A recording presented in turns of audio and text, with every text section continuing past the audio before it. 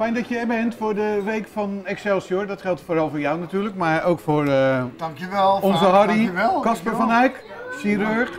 Uh, maar ook de man die eigenlijk toch een basis heeft gelegd voor het succes van Excelsior. Want sinds ze met Support Casper op dat shirt zijn gaan uh, spelen, dat half jaar... Ze hebben het, aan, hebben het toen, uh, ja, is de victorie begonnen, dat is ja. zeker zo. Maar dat is niet aan mij te danken, dat is veel meer te danken denk ik aan Chris Omen natuurlijk. Die, uh, van deze ja, de helderheid van geest heeft gehad.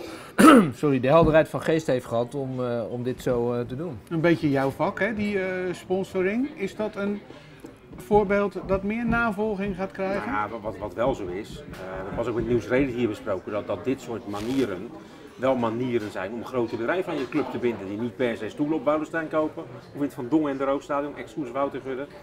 Um, maar die wel een maatschappelijke afdeling steunen en en passant ook dat voetbal beter maken.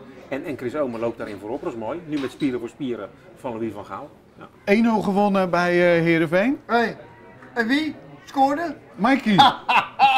ja, ja, mag van ik Duinen, ja. van jou? Ja. We denken, ja. mijn, mijn eigen Mike van Duinen.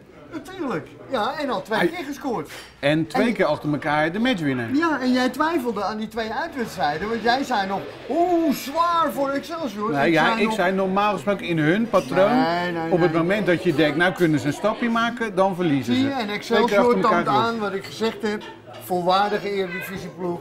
En doe gewoon vrolijk mee. En winnen gewoon. En Van Duinen, bewijs zijn waarde. Van Duinen. Nou gebiedt de eerlijkheid wel te zeggen dat het wel met het nodige geluk en kunst en vliegwerk tot stand En een helder voor keeper Oh, Zwart. wat was die goed, hè? Geweldig, speelde nog een bal met zijn hoofd eruit, haalde met enig geluk. Ja. Maar ja, di- di- waar ze bij Vitesse eh, eh, een deel van de wedstrijd goed speelden, waren ze hier underdog, maar ze deden het wel uitstekend hier uiteindelijk. Ja. Nou staan ze toch nog heel dicht bij zo'n Ja. play-off plek. Zes puntjes nog eens uit mijn hoofd. Eh, vier op ADO. Vier. Ja, het zou wat zijn. ADO zeg. krijgt er nog een zware oefenwedstrijd eh, tussendoor. Ja. 21 maart. Moeten we het daar nog even over hebben? Feyenoord tegen Nou, ADO. ja, natuurlijk gaan we het daarover Voor hebben. Kasper. Moeten we het daar nog over hebben? Natuurlijk gaan we het daarover hebben. Wedstrijd in de Kuip. Ja, Ja. om jouw strijd tegen alvleesklierkanker eh, te ondersteunen. Iedereen die erheen gaat, die betaalt 12,50. En klopt. Ja, en die steunt daarmee eh, ons baanbrekend onderzoek, zou ik bijna zeggen. Heb je al genoeg, zo langzamerhand? Hoe bedoel je, eh, toeschouwers? Nou, het, of, eh? de- nee, maar Geld het ging om... te weinig. Ja, ik snap dat je altijd geld te weinig hebt. Maar het ging je om een doorbraak. Nee, om een hebben- virus op de markt te Nee, brengen. maar we hebben een fantastische start kunnen maken. Iedereen is nu aan het werk. Alleen ja, nu willen we de volgende stap natuurlijk ook maken. Ik had natuurlijk nooit durven dromen dat we binnen twee jaar tijd al die grote stappen hadden kunnen maken. Dat we twaalf mensen aan het werk hebben. Alleen ja, nu willen we ook door en nu willen we het ook tot een goed einde brengen. En ja, dat is helaas alleen maar mogelijk als we nog eh, meer financiële middelen tot onze beschikking hebben. Terug naar die play-offs? Ja, Of moet je het zijn. gewoon uit je hoofd zeggen? Ja, je, je moet niet teleurgesteld zijn als je het niet haalt. Je moet vooral heel blij zijn dat je er makkelijk in blijft deze competitie. En dat je dus een aantal stappen vooruit hebt gezet. Maar het zou, het zou een leuk extraatje zijn, niet meer, niet minder. Jij noemt die goal van Van Duinen, hè? Maar misschien was het nog mooier wat daar aan vooraf eh, eh, ging. Het was het vooruit verdedigen van Koolwijk. Ja. En toen die eh Fike die, die, die, die, die eh, bewegingen maakte. En Van Duinen met links, onderkant Ja, had. Ja, maar goed. Maar dat toont alles aan wat die club wil zijn. Ja, en, en dat die feit belangrijk is, dat je een lekker voetballend middenveld hebt. Dat je Ja. mensen hebt die inderdaad, zoals je zegt, met, met Kolwijk meters naar voren durven maken. Onder leiding van een uitstekende trainer. Kunnen we niet vaak genoeg zeggen. Ja, dat Ja. wordt gewoon heel leuk gevoetbald. Waar ik overigens ook nog aan moet denken, die, die, de Heerenveen maakte een fout voorafgaand aan die goal, Woudenberg. Waar we in de Kuip steeds van hebben gezegd, waarom stelt hij hem nou niet op? Dan wordt bij Heerenveen wel duidelijk waarom hij hem nooit opstelt. Ja, maar dat is wel, kijk, dat is wel ook makkelijk voor de buitenkant om dingen te roepen. Maar een trainer, dat is een oude uitspraak, maar die geldt hier natuurlijk wel. Gaat natuurlijk elke speler die goed genoeg is gewoon wel opstellen. Maar er zullen voor al die trainers redenen zijn geweest om hem geen basisspeler in de Kuip te maken. Stond een groot interview met Mitchell van der Gaag in de VI deze week. Heb je dat gelezen? Nee. De kop boven dat artikel is, ik geloof in veel trainingsarbeid. Dan komen we ook een beetje op jouw vakgebied, hè? Eh, Nou, ik heb Mitchell natuurlijk nog meegemaakt als eh, speler bij Sparta. Speelde hij samen met Ernest Faber natuurlijk eh, achterin. en was jij daar clubarts, En, hè? ja, en Ernest ja, die is uit hetzelfde hout gesneden als Mitchell. En dat, ik weet dat die jongens allebei ontzettend eh, van arbeid houden. En ja, ik denk, als ik dat terugzie op het veld, dat zich dat terugbetaalt. Want ik kan me niet anders voorstellen dat dat toch de reden is waarom als je een ranglijst maakt zeg maar, van het aantal punten gedeeld door de begroting, dan staat Excelsior met een straatlengte vooraan. Ja, Dat is, Feyenoord één na laatste. dat is ongelooflijk, ja. Ja, Maar er is een hele tijd geweest, eh, eh, Casper, dat er is eh, gezegd, het gaat niet om meer arbeid leveren. Het gaat om heel precies periodiseren. En dan zorgen dat je precies op de juiste momenten het, kan gaat, pieken. het gaat om de arbeids-rustverhouding, daar hebben wij het in Nederland altijd over. Waarbij we, wat mij betreft, in Nederland wel heel erg de nadruk op de rust, om de rust leggen. en ik denk zeker, en ik heb het met Ronald ook, wel eens. Ronald heeft natuurlijk eh, de afgelopen jaren in Engeland eh, getraind. Koeman. En, Koeman. En die, ja, die zegt natuurlijk ook, ja, wat je daar ziet, dat is gewoon een interne discipline van de jongens zelf. Die willen gewoon fysiek sterker worden. Dus daar hoef je helemaal niet allerlei schema's te geven.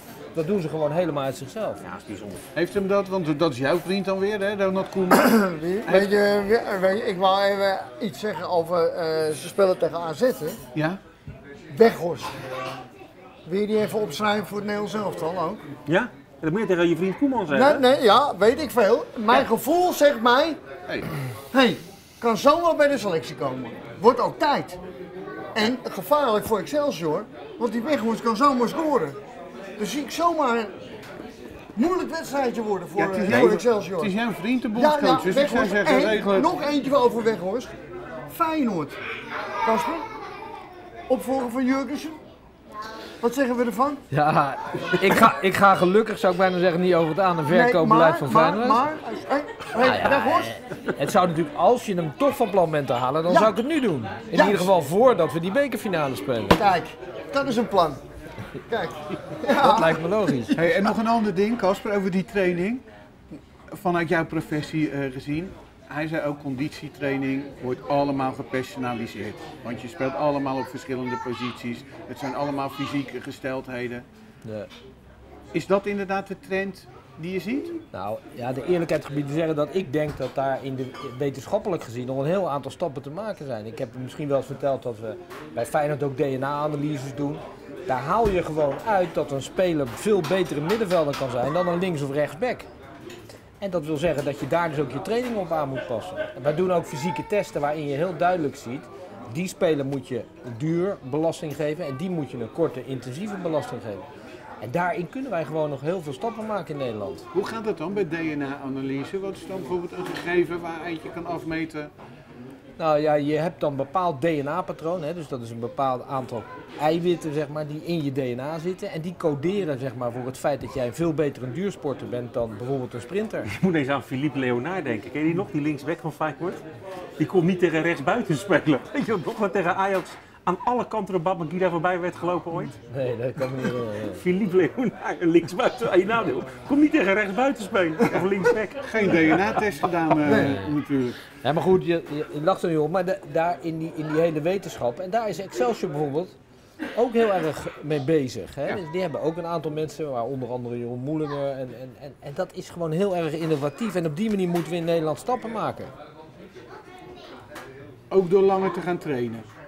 Dat is wat Van der Graag ook heel erg doet. hè? Nou ja, het, is natuurlijk, het, is, het gaat niet om de lengte, het gaat natuurlijk met name om de inhoud. En als dat uiteindelijk inhoudelijk wat langer moet zijn, ja, dan moet het maar wat langer duren. En dan moet het maar wat, ja, eh, wat intensiever. Dat zou best kunnen. Ik vind het zo logisch klinken dat hoe, hoe langer je gewoon eh, traint, hoe meer uren je maakt op dat veld. Nou, hoe beter je wordt. Dat, ja, dat Ja, lijkt dat mij. is natuurlijk niet helemaal waar. Want het is ook goed om goed uitgerust aan de training te beginnen. Want dan ben je gewoon scherper, de zuiverheid is dan beter, et cetera, et cetera. Dus daar moet je een goede balans in vinden. Maar van de andere kant, en dat zie je natuurlijk nu ook wel terug in het veld, is dat je fysiek ook wel iets in, hu- in, in huis moet hebben. Want als je fysiek niet sterk genoeg bent, ja, dan kom je gewoon toch niet mee. En dat zag je bij, hè, bij, ook bij de jeugdelftallen als je die tegen buitenlandse clubs spelen. Voetballen zijn ze zeker niet te minder. Maar fysiek worden Ja. ze toch aan alle kanten Ja. eh, afgetroefd. Eh, we- Ik hoor een soort verbazing bij jou van, gaan Excelsior wil die play-offs halen?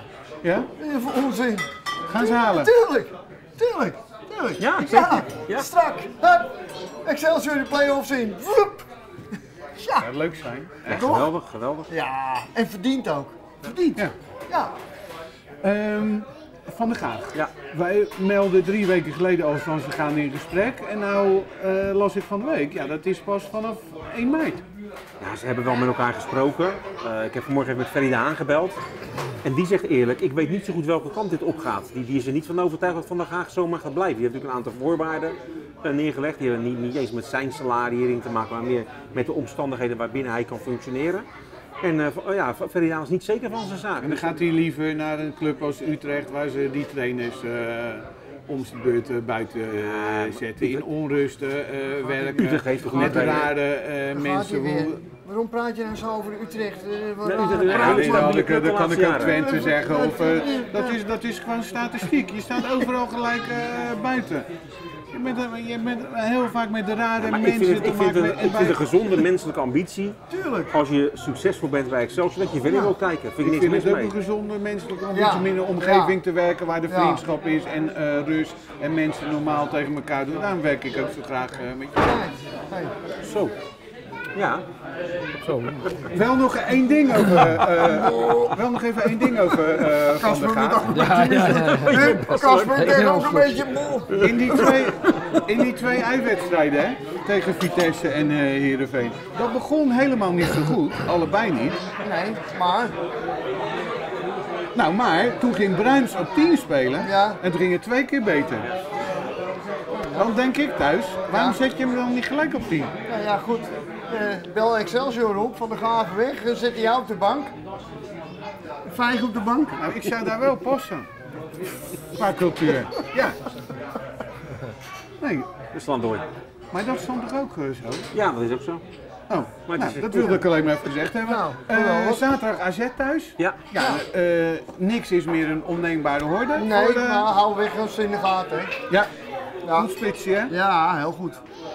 Ehm, en Mossel kan weer spelen. Is weer beschikbaar voor, eh, voor zijn training, ja. Maar dat, als je dat zegt, dan Nou, klinkt het dus alsof Nou, hij die- kan spelen, maar hij nee, speelt nog niet. Nee, ik denk het niet, maar hij is wel beschikbaar. Hij is weer fit. Oké, nou, eh, ben ik nog iets vergeten? Nee. Ja, mag ja, ik ja, nog één- 21 maart. 21 Ja, maart. dus eh, mag ik je nog één ander ding eh, vragen als eh, arts? Ik snap dat je nooit over patiënten moet praten. Ik kan me ook voorstellen dat je één uitzondering maakt. Wij hebben ons ook hier aan tafel heel erg zorgen gemaakt om Henk Schouten. En die zien we er nog bij lopen als een jonge hinde. Nou, dat laatste is zeker niet het geval, want hij, heeft, hij is geteisterd de afgelopen weken door grote personele problemen. Eh, dat kwam met name omdat zijn huis onder water stond. En dat heeft hem eh, ontzettend veel eh, narigheid bezorgd. En daar heeft hij lang van in de put gezeten. Maar daar is hij ook weer uitgekomen en het gaat naar omstandigheden gewoon ontzettend goed met hem. En ja, hij realiseert zich als geen ander dat hij iedere dag moet plukken. En, nou, hij ziet natuurlijk ook andere coryfeeën van Feyenoord ziet hij wel strijden tegen ziekte. En sommigen hebben het maar ook verloren.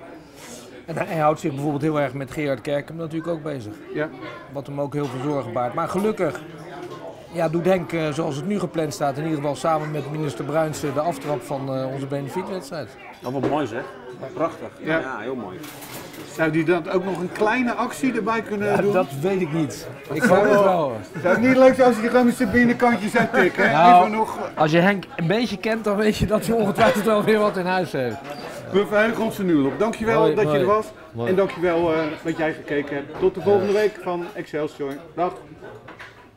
Henk Schouten jongens. Grootheid hoor. Hè? Goeie vent, ja. Ja. Bijzonder.